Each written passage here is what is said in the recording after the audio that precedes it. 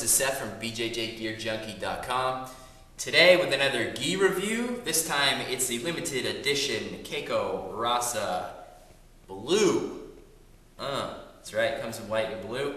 Um, so let's get right into it. I'm gonna skip ahead to talking about the jacket first, like we always do. I'll get to the pants a little bit later. Uh, a little backstory on this particular gi model. I had this gi about two years ago, maybe two and a half years ago. I had it in white. Um, I ended up having to sell it. And the reason is because I, in my experience, Keiko is made for tall, lanky guys, okay? If you normally wear an A3, A4, and it's because you're tall, not because you're broad-chested or a little fat, um, Keiko is the brand for you, okay? If you are uh, somebody who wears an A2 and you're like 5'6", 5'7", 5'8", um, this probably is not the brand for you, okay? I would steer you more towards like uh, like a Koral or something like that, okay, for the shorter, stockier people.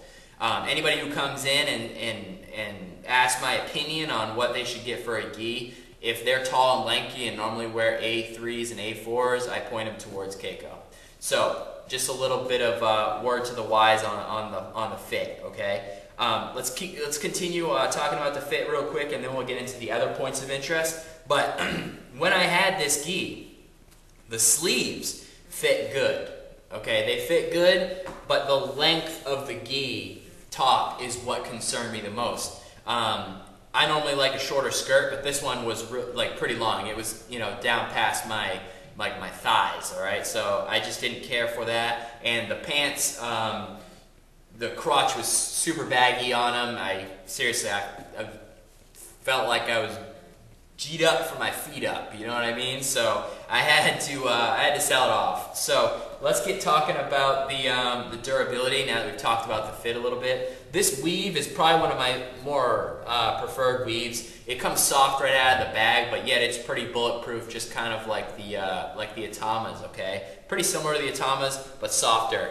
Softer and a little lighter, I would say. Okay, and I think this gi um, in an A3 weighs about three or four pounds total. So just a heads up, it's not like your lightweight gis. Uh, let's look at the uh, inside here. So down at the bottom here, we have a nice stitched in piece in the corner. That looks really solid. Um, definitely no worries there. Across this bottom right here, this is probably one of the skimpier jobs that I've seen done on the bottom. In fact, it doesn't really seem reinforced. It's almost like they took this black piece of fabric, folded it over both sides, and sewed it. So, um, not the best, but you know, it's not a showstopper. So, um, that's the inside. Let's take a peek at the armpit really quick. This is probably one of the beefier armpit pieces I've seen on some of the geese, so I wouldn't worry about the armpits blowing out on this model. Uh, a little bit of backstory, the owner of this gi, one of my training partners, he's had it for about a year, maybe eight months, okay, and I don't see any abnormal wear just besides, you know, color fading and, and white things turning brown. So, all normal stuff. This collar is one of my favorite collars so far, okay? I believe it's foam in there, um, but it's nice, thick, it's stiff. Um, it's probably on the level of a Koral, but actually probably thicker, okay? So definitely like that. So let's move into the cool factor.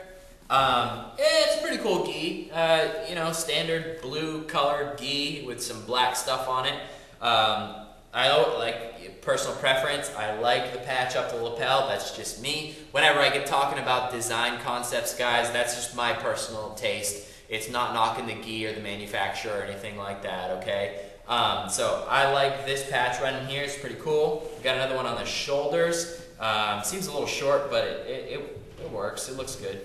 Um, I'll annotate these patches in as well in, uh, in pictures for you guys if the camera's not picking this up. There's another patch right there. Keiko. Okay, and over here we have another one. All right. Of course, you've already seen that the gi is trimmed in black, which is kind of nice, especially on the sleeves. That kind of gives it a little bit of reinforcement there. And then, of course, along the bottom, like we talked about. Let's take a peek back real quick. Up at the top is a nice uh, embroidered uh, patch here. Um, good real estate here. I think you could. It would be kind of sweet to line up your club patch right under this, so you kind of have a little bit of a centering when you're doing the sew job. But other than that, no seam up the middle, so that's pretty standard. All right, let's take a look at these pants. Okay. I like these pants. The pant material is kind of like that um, uh, cotton canvas kind of uh, material. Um, very similar to like a Koral MKM, but maybe a little bit more towards the cotton side. They're a little softer, um, which means they're probably going to absorb a little bit more and uh, be a little bit lighter too, I would think. Um, they went with the two loop system. Um, they went with a little bit of like a hybrid. Um, it's not stretchy uh, drawstring. It's pretty close to, I would say, um, clothesline. Uh, it's probably not, but it's very similar to clothesline. Uh, one of the bad things are is when this uh, when this knot comes undone, this will start to unravel, and I'm not just gonna pull this apart. It's not my gi. But um, I can see that being an issue because as you go to put this through, the more frayed this end gets, the harder it is, the more messy it is. Okay? Just a little word of the wise. All right. The knees are somewhat reinforced. You can see the piece here is it starts the reinforcement here and it goes all the way down to the actual bottom of the gi here. So it's not kind of one of the modern designs where you have the knee pad reinforced and then the contrast stitching. Um, but it is reinforced there. Uh, it does kind of remind me of the, the Koral quite a bit. And as you know, my Korals blew out. I actually have them mounted on the wall right now as a little club memorabilia, but uh, maybe I'll rip them off the wall one day and show you how they blew up. But anyways, let's get sidetracked. There is another um, Keiko patch down here at the bottom, which is pretty sweet, makes it pop. Um, the bottom of these gis is nice, beefy, reinforced, okay? This is probably one of the best reinforced jobs on the bottom of the gi pants I've seen. The only problem with the reinforcements on the bottom is as somebody's grip hits the bottom, it sinks into that. It's real easy to keep that grip, okay? Just a word of caution. That's life, boys. That's how it is, but work a different guard, I guess. Don't work open guard. Um, so, all right let's take a peek. Recap a little bit. So, if you are a short and stumpy A2 guy like myself, you know, 5'7", 5'8", uh, 160, yes, I am losing weight, uh, don't go with Keiko.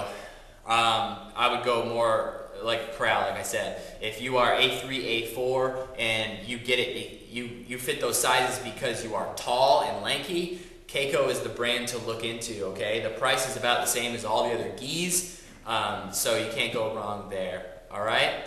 So, guys, if you like what we're doing here, please like us on Facebook, follow us on Twitter, and uh, subscribe to the YouTube channel, all right? Thank you very much for watching, and stay tuned for more videos.